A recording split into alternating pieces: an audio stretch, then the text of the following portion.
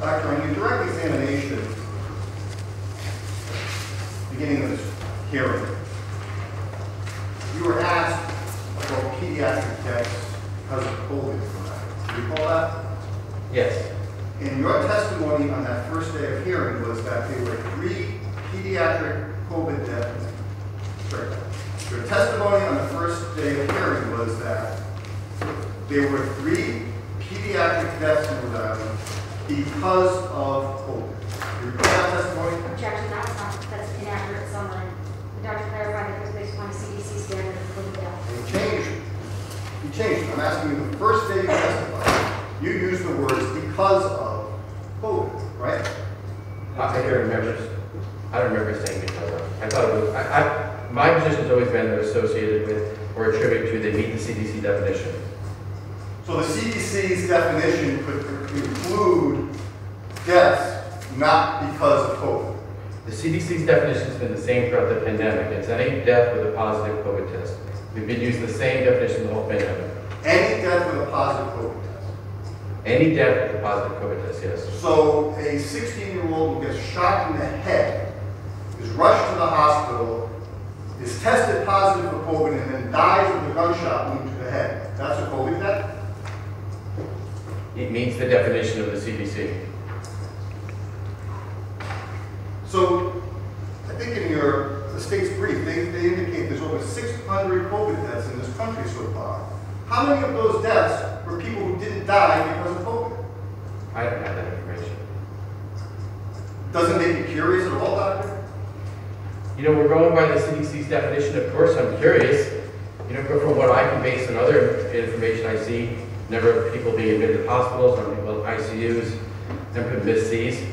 It- It's my opinion that COVID is a major public health threat to the people of this country and this state.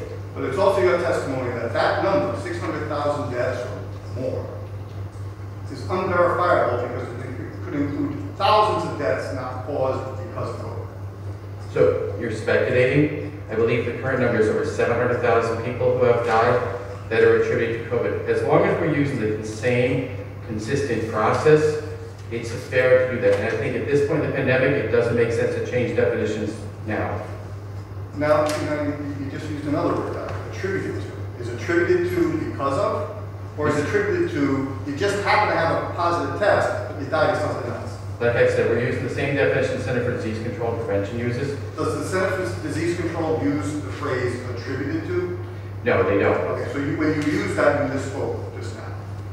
I- Yes, I did. Again, I'm trying to be very precise with our language here, doctor. Yes, I understand. Okay? You can die with COVID or because of COVID. That's right. Okay? And it's your testimony that COVID death will be recorded even if you die with COVID but because of something else. Yes, And in fact, the three children who died in Rhode Island did not die because of COVID. Right? they died with COVID. Right. In fact, your spokesman, is it Joseph Wendelken? Is he the spokesman for the uh, Department of Health? Yes, he's the public information officer. In fact, he, um, on numerous occasions, has had to correct the public perception out there that these three deaths were because of COVID, right? I've done the same thing myself. Right.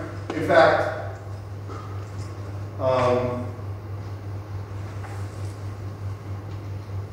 Dr. uh, Wendell, uh, Mr. Wendelken sent, sent an email to a radio personality by the name of Matt Allen back in May saying, we have had three COVID-19 associated pediatric deaths in Rhode Island. In one instance, the child had a very significant underlying medical issue. The child was COVID-19 positive, but it is not believed that COVID-19 contributed to the child's passing. Would you agree with that statement? Yes, A second fatality was similar in a child who had- was COVID-19 positive, but it was not believed that COVID-19 played a role in that child's passing either.